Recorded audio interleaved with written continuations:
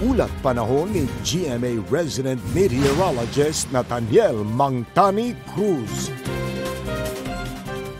Mga kapuso, maulan ngayon dito sa Metro Manila at ilang pang bahagi ng bansa.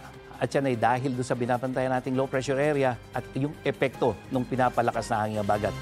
Nakataas ngayon ang orange rainfall warning ng pag-asa dyan sa mga probinsya o dyan sa probinsya ng Remblon at isinailalim naman sa yellow rainfall warning ang uh, mga probinsya ng Leyte, Southern Leyte at ang Biliran Island. Posible po yung pagbaha at landslide sa gitna ng malalakas na ulan sa mga nabanggit nating lugar.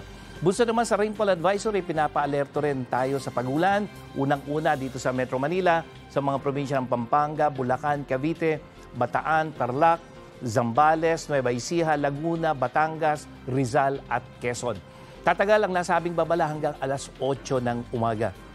Namataan ng pag-asa yung nasabing LPA dyan sa may baybaying sakop po ng Kalawag sa probinsya ng Quezon. At base sa wind forecast ng Metra Weather, ay makikita nyo mga kapuso, yung may highlight na yan, nandyan yung sentro ng LPA. Hindi ito inaasahan na magiging bagyo sa mga oras na ito. Pero mga kapuso, tatawid yan ng uh, Luzon sa weekend at kahit hindi maging bagyo yan, eh, palalakasin yan yung hanging habagat at yan yung magdadala ng maulang panahon, hindi lang ngayong araw ito, kundi sa mga darating na araw. Pero sa mga susunod na oras, eh, asahan nyo na po yung mga pag-uulan.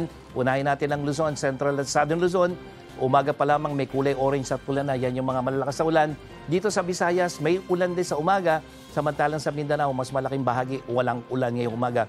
Pagdating ng hapon, yan ang mga kapuso ha. Puro thunderstorms na makikita nyo. Luzon, Visayas at maging sa Mindanao. At paalala po muli, may mga malalakas na ulan mga kapuso na posibleng magdulot ng mga biglaang pagbaha at syempre ng landslide.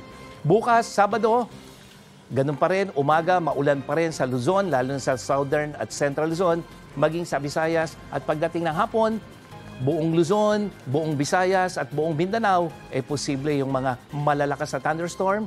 Kaya makikita nyo mga kapuso, sunod-sunod na araw yan, maulan. Hanggang sa linggo yan, Tuloy-tuloy yung pag-ulan sa Southern Luzon, dahil sa Bicol Region, Mimaropa at dyan sa Calabarzon, maging sa Visayas at Mindanao at mga kapuso, ay yung ulan na yan na tuloy-tuloy sa mga susunod na araw, eh malaki po ang posibleng magkaroon ng baha at landslide sa iba't ibang bahagi ng bansa. Sa mga taga Metro Manila, ngayong biyernes, maghapon na may tsansa ng ulan, makikita nyo yung kulay ng Metro Manila, halos hindi magbabago.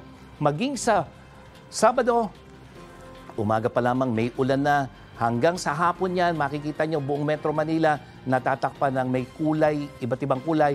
Maging sa linggo, eh, may mga pagulan, umaga pa lamang, bahagyang mawawala sa ilang oras, pero muli, babalik na naman kaya mga kapuso. Ha? Mag, magiging maulan ang weekend natin simula ngayong biyernes. Yan ang latest mula sa GMA Weather. Ako po si Nathaniel Cruz. Magplano para sigurado. I am ready. Serbisyong totoo ng GMA News. Kapuso, mauna ka sa mga balita. Panoorin ang unang balita sa unang hirit at iba pang award-winning newscasts sa youtube.com slash GMA News. I-click lang ang subscribe button. Sa mga kapuso abroad, maaari kaming masubaybayan sa GMA Pinoy TV at www.gmanews.tv.